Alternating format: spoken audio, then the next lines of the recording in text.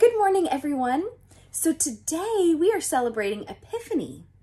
So all we are going to need for today's lesson is this that I have emailed over to you. But if you don't have it for some reason, you can always draw your own or write your own however you would like. And of course, we need some coloring materials like crayons or markers or pens, pencils, anything that you would like. So for Epiphany, what we are celebrating is that the three wise men have come to give their gifts and celebrate baby Jesus. So let's read that now. Following a star. In a faraway land, some wise men were studying the stars. They saw one very special star in the night sky and followed it all the way to Judea. It was a sign that a great king had been born. When they got to Jerusalem, they asked King Herod where they could find the baby who would become the king of the Jews. Herod's advisers told him of a prophecy that the new king would be born in Bethlehem.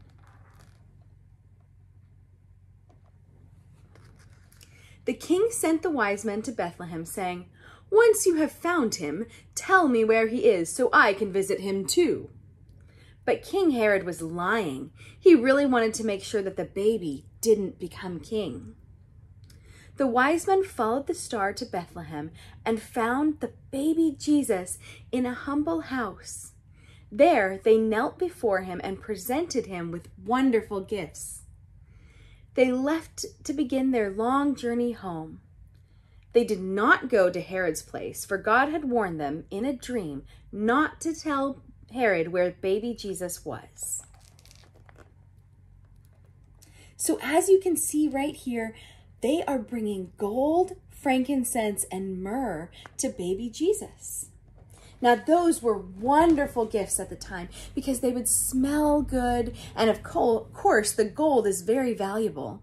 And they came to bring their gifts to Jesus because they wanted to celebrate him. They wanted to praise him and they wanted to honor him as the king. And not just any king, the king above all kings, the best king in the world. And of course, we know that Jesus is that.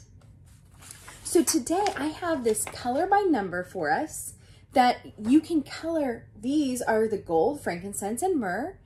But if you want to color it differently, you don't have to do it color by number. You can color it however you'd like to.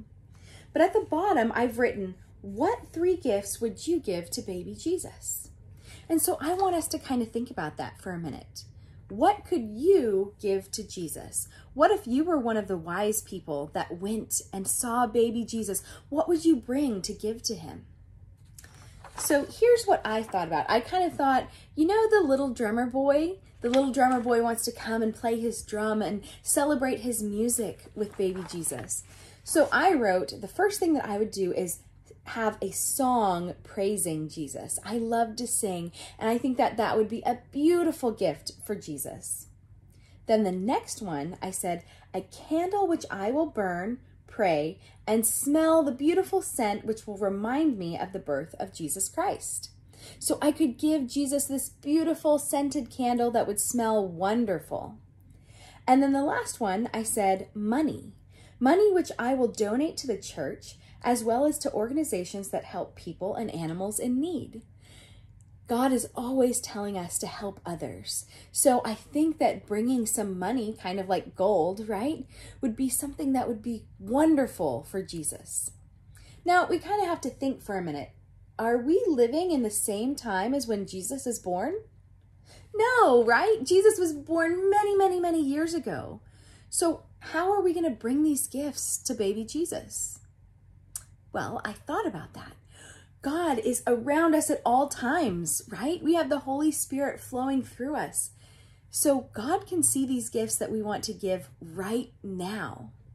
So today, I'm going to give all three of these gifts to God. I am going to sing a beautiful song about Jesus, praising Jesus later on today.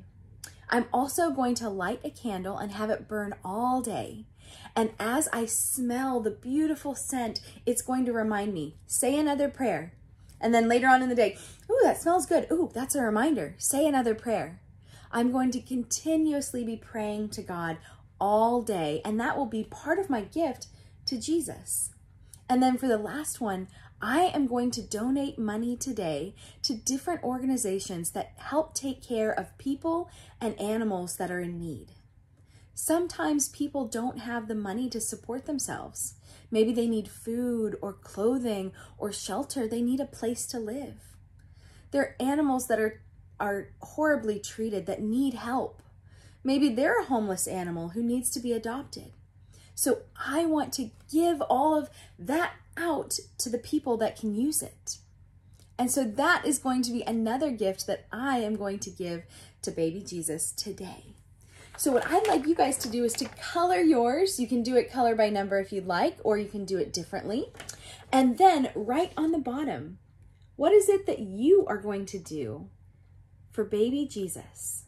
And then I encourage you to either do those things today, or if you need a little bit of time to think about it or to plan it, to do it later on this week. And I would love to see your coloring and your ideas of what you are going to give as your gift. So please pray with me. Dear God, thank you so much for this beautiful, wonderful time of Christmas. And now that we're getting into Epiphany and we are going back to school and we are doing all of our things kind of back to normal, Please help us to always still celebrate the joy, peace, hope, and love that we've learned about during this Christmas and Advent season. Please keep us safe as we go back into school, whether that's virtual or in person. And let us remember to always give our gifts to you and to do everything to glorify you and praise you, O God. In your name we pray. Amen. Bye, guys.